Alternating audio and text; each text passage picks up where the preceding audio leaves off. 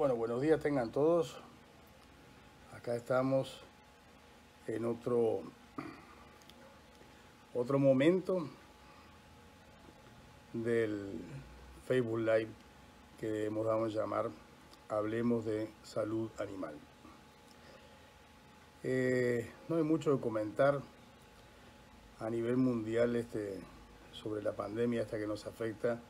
Realmente las cifras que que estamos manejando en este momento son, son pasmosas. Ya vamos, vamos llegando lentamente a los 12 millones de enfermos. Ya superamos los el medio millón de, fallecidos hace rato. No, no hay alternativas este, evidentes de, de, tratamiento, más allá que los protocolos van cambiando día a día. Y cambian los protocolos día a día porque tenemos desconocimiento del, tema aún a nivel eh, científico. Saludos Manuel, saludos César. Eh, vimos hoy que, en Estados Unidos acaban de apoyar una empresa con 1.600 millones de dólares para fabricar este, la vacuna.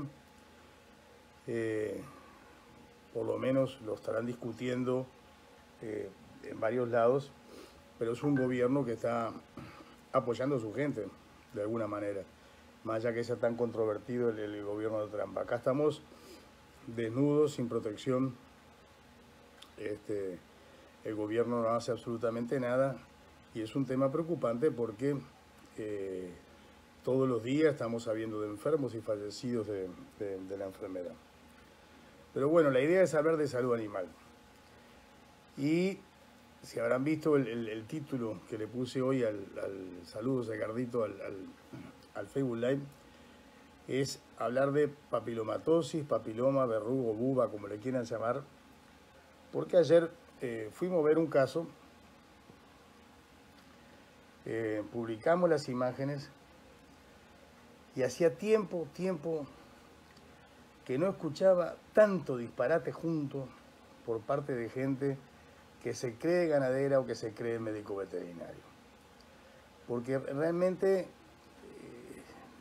no, sé cómo describir el pandemonium de cosas que pusieron, los disparates que pusieron, que, que no, no tiene sentido. O sea, vamos primero a, explicar. Acá en el campo le dicen buga, algunos verruga, eh, otro ha entendido papiloma. La enfermedad es papilomatosis. Y esa enfermedad papilomatosis primero que nada, es provocada por un virus, un papovavirus, ¿ok? Si es provocada por un virus, van a darse cuenta que muchos tratamientos que hacen no tienen sentido, ningún sentido. Segundo, es una enfermedad que llamamos infecto contagiosa, o sea, es transmisible se transmite de animal a animal. Eh, por suerte, no es zoonosis. El papovavirus es bien específico. Nosotros tenemos nuestro propio papovavirus o condilomatosis, como le dicen, que es una enfermedad de transmisión sexual. Eh, los perros tienen su papovavirus, los caballos tienen su papovavirus, pues las vacas, sobre todo los terneros, tienen su papovavirus. Cuando aparece el papiloma que generalmente aparecen terneros y hay este, eh, casos realmente eh, brutales de papiloma. Ustedes pueden ver en mi canal de YouTube un video que hicimos hace tiempo sobre la fabricación de vacunas eh, para papilomas, que, lo hicimos porque en el año 2017, 2018, no me acuerdo, creo no, 2015, el CONICIT nos dio un premio por el diseño de la vacuna este, contra papiloma. O sea que te dé un premio de CONICIT, más allá que los premios este, son muy, muy, muy menguados y, cortitos, este, pero es, es, una gran cosa. Y nosotros quisimos compartir con todo el mundo cómo se hacía la vacuna, ahí pueden ver el proceso de la vacuna. Pero entendamos que partimos de una enfermedad que es un virus y que es infecto contagiosa. Pero cuando aparece, aparte de tener que combatirla, es un sonido alerta, ping, ping, alerta. ¿Por qué? porque esto aparece en animales que están inmunosuprimidos y generalmente eso se asocia a una mala alimentación. O sea, una mala alimentación que yo le doy a los animales hace que aparezcan enfermedades como el papiloma, enfermedades como el hongo o tiña a nivel de terneros. Son enfermedades que nos dan idea de que hay mala alimentación detrás. Un ganadero que tenga su ganado bien alimentado, con una buena dieta, con la cantidad suficiente de proteína, como es, hemos charlado ampliamente todos estos días, con la energía suficiente, difícilmente le venga el papiloma. Ahora, ¿qué hace este virus? Este virus eh, afecta dos tejidos, la piel y las mucosas. ¿Qué es lo que hace en la piel? Causa lesiones en las cuales empieza a hacer un crecimiento eh, diferenciado, la piel, en el que se liquenifica y empieza a formar eh, estratos córneos fabricando una verruga en la piel. Verrugas que pueden ir del tamaño de la cabeza de un fósforo hasta el tamaño de un huevo o, más grandes. En ese video que les digo en mi canal de YouTube van a ver fotos realmente espeluznantes del virus, muy significativas. El ganadero se asusta porque ve su, su ternero todo lleno de verrugas que lo van cubriendo y se van desarrollando. Lo que no sabe es que lo mismo que está viendo la piel pasa en los tejidos, pasa en el esófago, pasa en la tráquea, pasa en los bronquios, pasa en los intestinos, pasa en el útero, etc. Entonces realmente complica, inclusive hasta dentro de la glándula mamaria eh, se pueden ver. Ahora, eh, si somos observadores, vamos a ver de que hay diferentes tipos de verrugas. Están las verrugas generadas por el papiloma, que son, digamos, en forma como de hongo o, este o coliflor, ¿no? Y están otras verrugas un poco más lisas que no son generadas por este virus y, difícilmente tengamos respuesta al, tratamiento. Eh, hemos publicado bastantes fotos en, en, Facebook sobre esta enfermedad, los diferentes casos que hemos visto. Eh, yo diría que hay un 75% de los casos que sí son recuperables. Ahora bien, aquellos que inventan, porque ayer decían de inyectarle diésel, de inyectarle gasolina, o sea, ¿cómo se les ocurre inyectarle a un ser vivo combustible? Entonces, cuando ustedes les salgan verrugas, yo les convido que vengan a mi clínica y me dice, mire, tengo vergüenza, entonces yo te voy a inyectar combustible a vos, a ver qué te parece.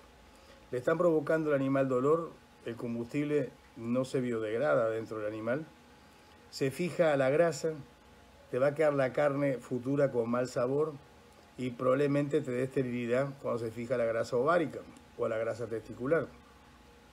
O sea, no, no, no tiene cabeza. Otros cortarle la punta a la oreja. ¿Para qué cortarle la punta a la oreja? Otros ponerle un alambre de cobre y ¿qué, qué van a hacer? Darle corriente, ponerlo con unión fenosa y, encajarle 220 o 110. Otros que hablan de poner un aro de, cobre. No les digo dónde se pueden poner el aro de cobre. Por supuesto que eh, infaltable, porque cada vez que discuten un caso este, los, los curanderos o los falsos chamanes que andan por ahí, eh, el limón, el limón acá lo usan para todo. El limón déjelo tranquilo, hágase una limonada, póngase un vodka con limón, un gin con limón. Pero ¿qué van a curar con limón? El limón, no, no, no, rico nomás. Eh, pero e, eso, esos, esos que inyectaban combustible me, me, pusieron frenético. Hay otros que hacen una cosa que no entienden por qué les da resultado, y les voy a explicar por qué les da resultado hay, unos chamanes que están con una tradición de que le sacan sangre de la yugular y le inyectan en el músculo y con eso dicen que se cura la verruga. Uno más sofisticado, me río por no llorar realmente, dijo que sacaba la sangre de la yugular y la ponía en la mano cinco minutos, porque al ponerla en la mano al ponerle la mano atenuaba el virus. hay, mala conexión, disculpen que se está cortando el, internet. Pero bueno, o sea, si yo le saco sangre a lo yugular y la pongo en la mano cinco minutos según él para atenuar el virus, cuando la voy a inyectar en el músculo no puedo inyectarla porque está coagulada. La sangre demora entre uno y dos minutos en coagular y si no coaguló en cinco minutos no tiene problema con la verruga, está con diabetes. Pero en los cinco minutos se coaguló. ¿Qué le voy a inyectar? ¿Por qué a la gente que hace esto se combustible, ponerle el limón, cortarle la punta de la oreja, meterle un alambre de cobre, un aro de cobre, sacarle sangre a la yugular y que ¿Por qué dicen que les da resultado? Le voy a explicar por qué. Porque en un 50% de los casos el papiloma o la papilomatosis o la verruga o la buba, como le quieran llamar, cura solo. Si yo no le hago nada a los animales, en un 50% cuando los animales empiezan a tener una respuesta inmunitaria normal en todo persona o ser humano, o ser vivo, perdón, agredido por un virus, cura solo. Entonces no lo curé por darle combustible, no lo curé por sacarle sangre en la yugular e inyectarse en el, cuarto, no lo curé por cortarle la punta de la oreja, no lo curé por ponerle un alambre de cobre, se curó solo. Pero ellos quedan convencidos que por su brujería, por su chamanismo, lograron combatir el virus. Lo ideal, lo real, y eso lo, pueden ver en el video, porque ahí en el video que, que yo les digo en mi canal de YouTube está con lujo de detalles todo, paso a paso cómo se hace. Es fabricar una autovacuna. ¿Por qué decimos autovacuna? Y no fabricar una vacuna en serio. En serio no, en serie como hay para otras enfermedades, por ejemplo, yo qué sé, para antras, para, para tenemos vacunas fabricadas en serie por diferentes empresas y ninguna empresa fabrica vacuna contra papovavirus, porque el papovavirus no solamente es específico del animal, sino que muta constantemente y es bastante local. Entonces no puedo hacer yo una vacuna comercial con una cepa que abarque todas las cepas que hay de papovavirus pero sí puedo hacer una autovacuna hecha la medida para el caso de esa finca que está afectada. ¿Y cuál es el principio de la autovacuna? Nosotros tomamos muestras de las verrugas, las procesamos en el laboratorio, se eh, escarifican y se, micronizan, luego se, ponen en un agitador magnético con antibióticos y con, con, suero fisiológico se agita durante media hora, se pone a temperatura de refrigerador a 4-8 grados durante 24 horas, se filtra. Y esto se hace porque se, se microniza y se escarifica para, aumentar la capacidad de, escapar del virus de, las lesiones. Se le pone antibiótico porque siempre hay contaminación de bacterias y las bacterias no nos interesan.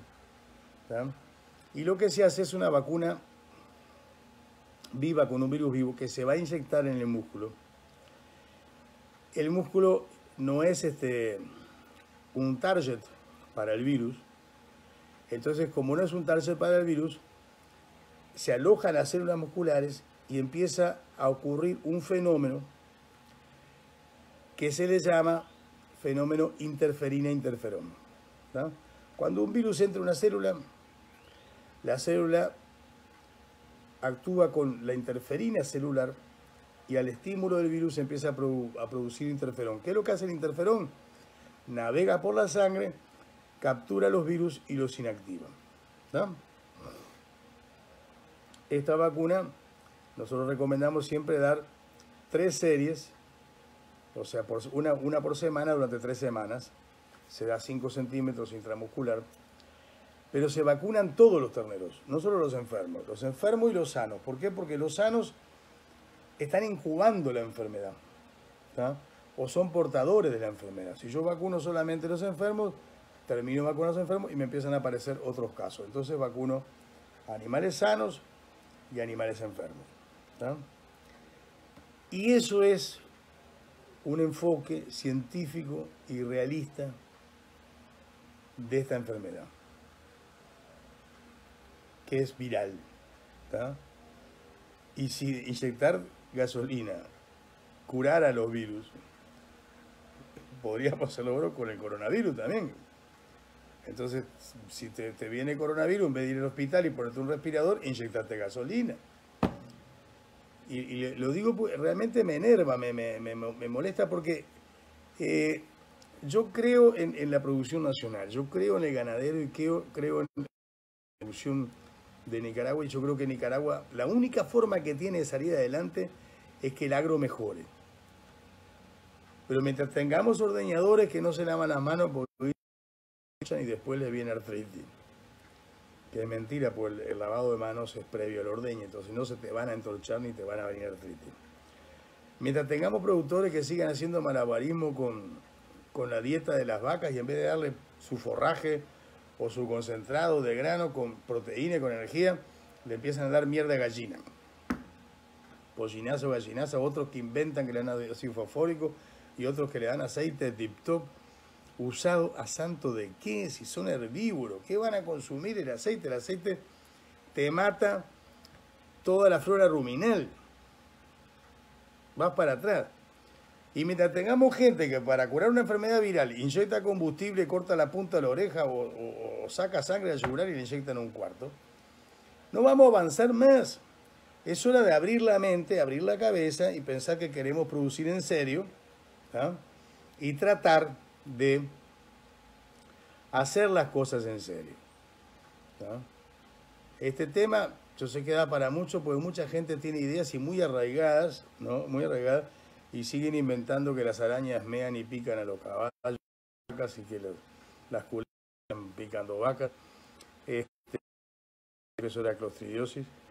Eh, tenemos que abrir la mente, tenemos que dar un paso hacia el futuro y esto pasa por hacer un análisis eh, científico, un análisis planificado, una planificación correcta de los manejos que vamos a hacer y un enfoque correcto de las cosas. Ahí, ya saben, en el canal de YouTube está ese video de preparación de la vacuna.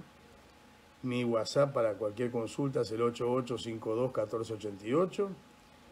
Y espero que, mucha gente deje de inventar y hacer cosas que no tienen sentido, este, como las que plantearon muchos este, ayer. Yo siempre estoy a las órdenes para el sector ganadero. Mañana no vamos a poder hacer Facebook Live porque vamos a estar en, en el interior, en un departamento, en una finca. Nos vamos a volver a ver el jueves a esta misma hora, si Dios quiere.